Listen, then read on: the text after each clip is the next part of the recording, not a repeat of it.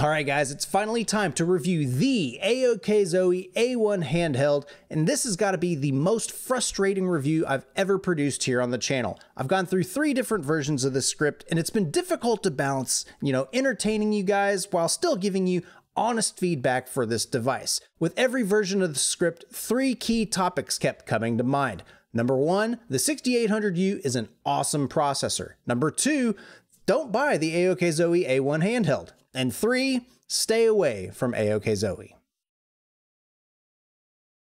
Now, I don't want this review to be a complete downer because on the inside, the AOK Zoe handheld actually performs just as well as I would hope. If you're new to the channel or you're not familiar with this type of device, let's do a brief rundown of the spec sheet.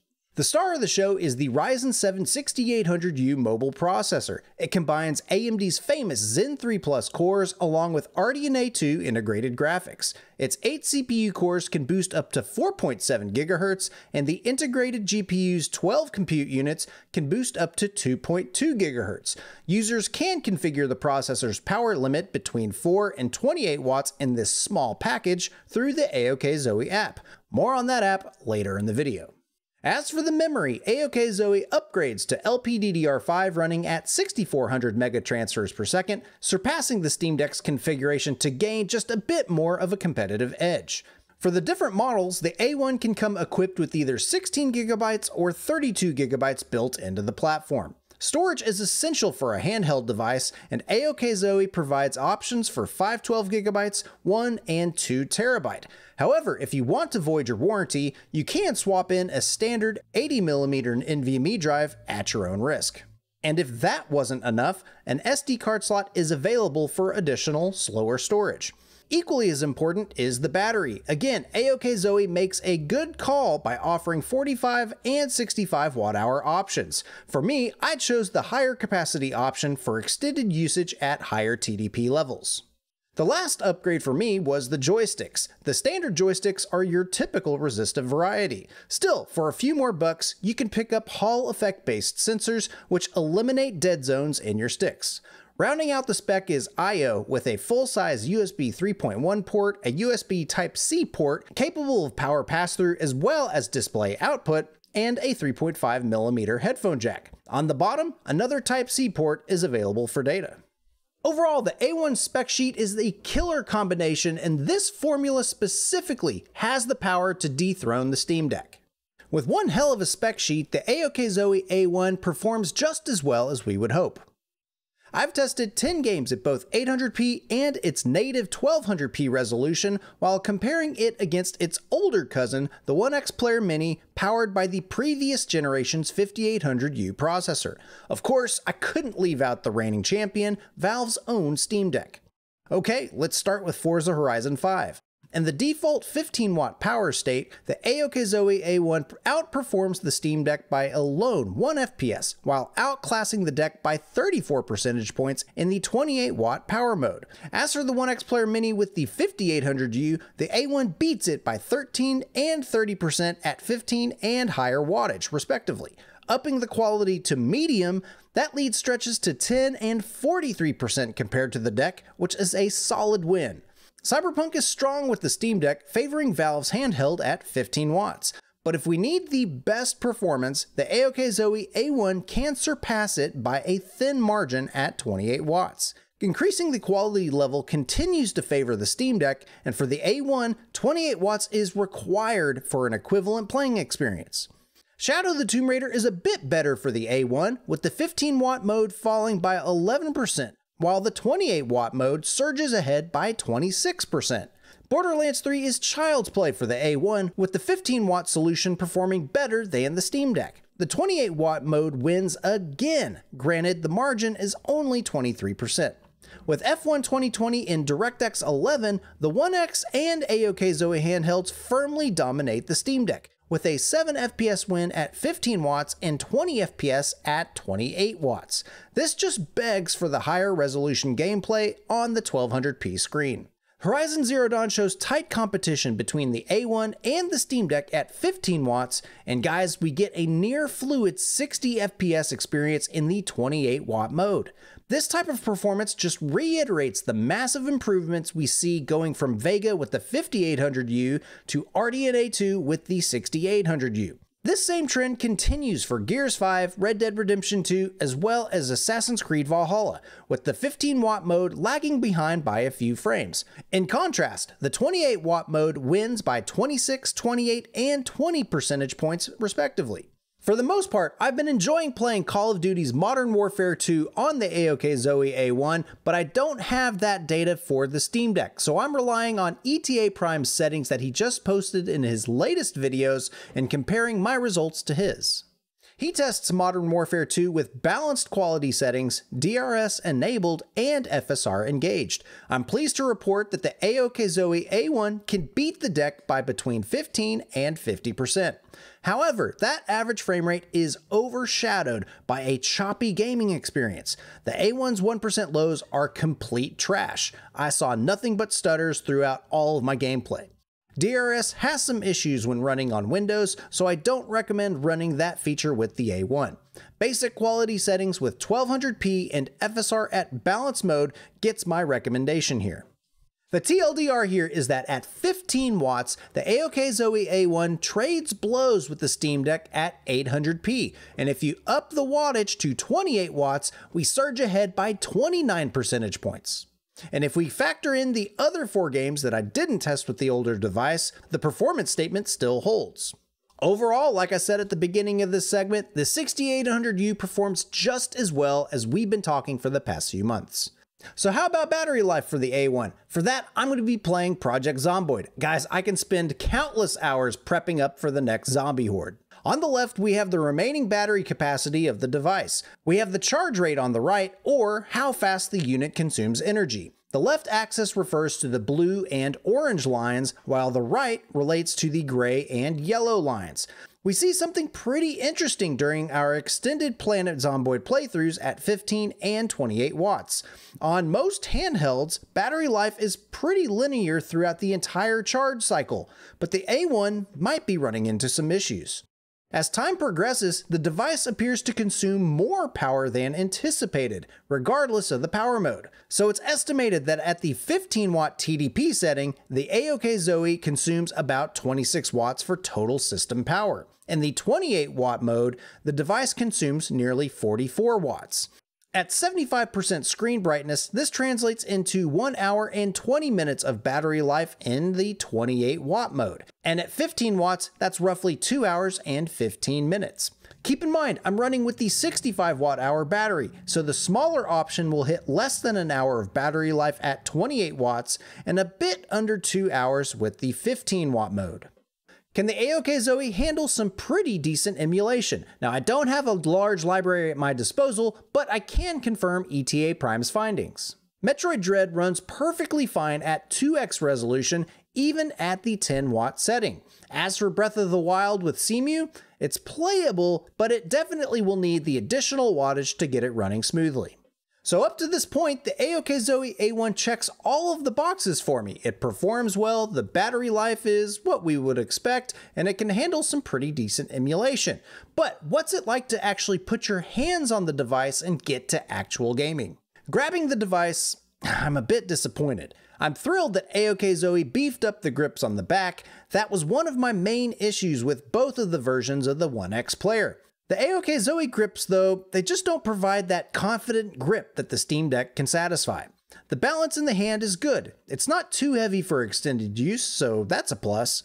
After the device sinks into my hands a little bit, the plastic feels exceptionally cheap. The grips are incredibly slick and would have benefited from even the slightest of texture. The OneXPlayer has a bit more swagger in this regard, but that could just be me.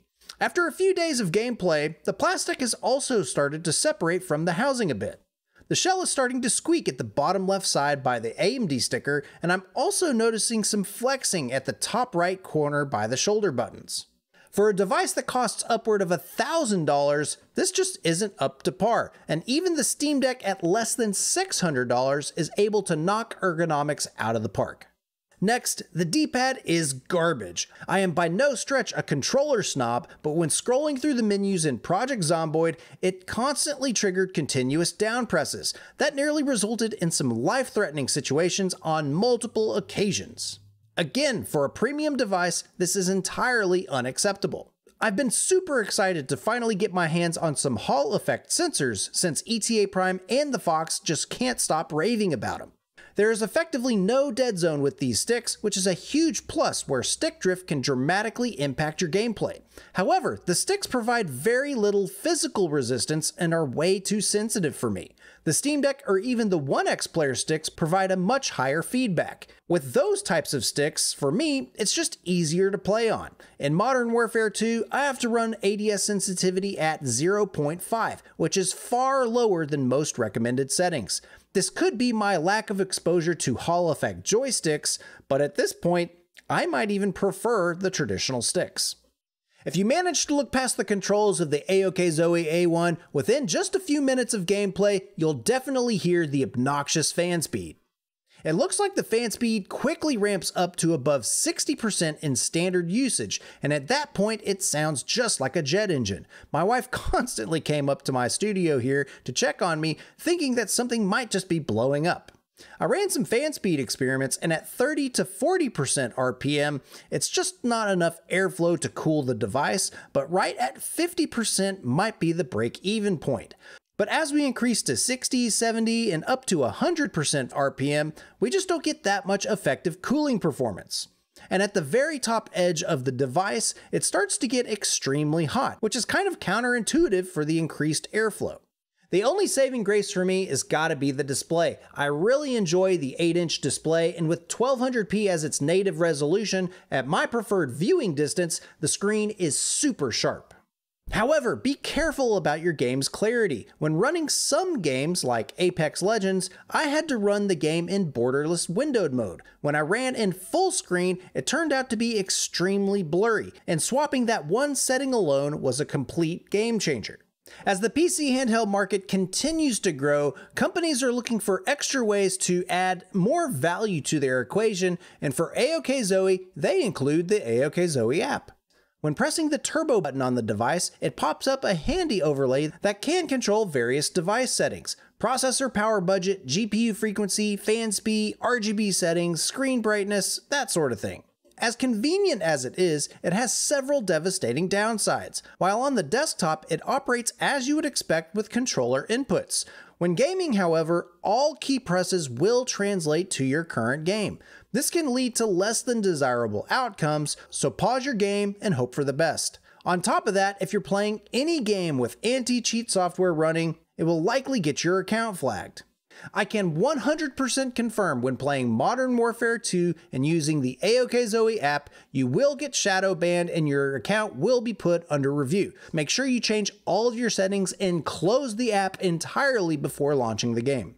But to push this review fully over the edge, we have to talk about AOK Zoe's business practices and why future buyers shouldn't trust this company. If you've been following my channel for the past six months, you no doubt have heard that AOK Zoe's Kickstarter campaign, it's been pretty bumpy. They initially claimed the A1 would be the first mass-produced unit to hit the market with a shipping date by the end of September 22. As we got closer to that last week of September, AOK Zoe notified their backers that they had hit some delays and would be unable to ship units on time. On top of that, China had a national holiday that next week, so they told us no one would be able to ship units until the second week of October. After the delay came and went, the next issue was an egregious accounting failure. Apparently, AOK Zoe's bank account information was incorrect, and Kickstarter failed to send the funds to them. At that same time, the units were being completed and sitting in their factory in China, waiting on AOK Zoe to complete the payment. This took AOK Zoe another two to three weeks to finally resolve, and the backers were left waiting there until late October.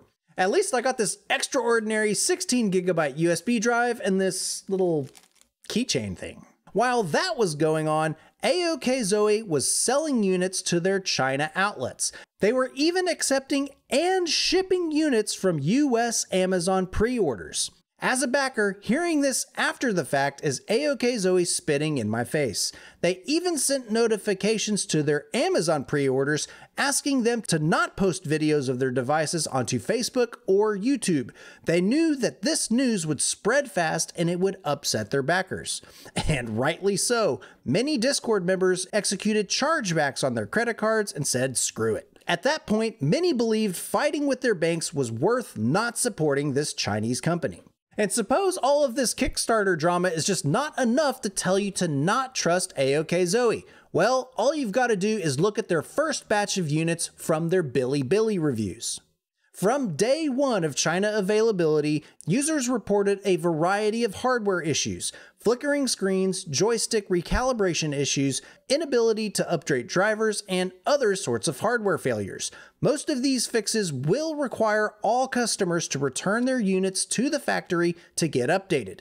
In fact, after the financing fiasco, AOK Zoe had to open up every single Kickstarter order and reflash software onto the device to fix known issues with various drivers and lower level ICs on the board.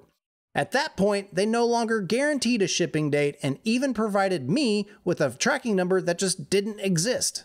Now that I'm having to go through the RMA process with my OneXPlayer, I'm actually glad that they opened up all the devices because having to ship my device back to China, go through all of the different customs and all that stuff, it really is a pain in the patella.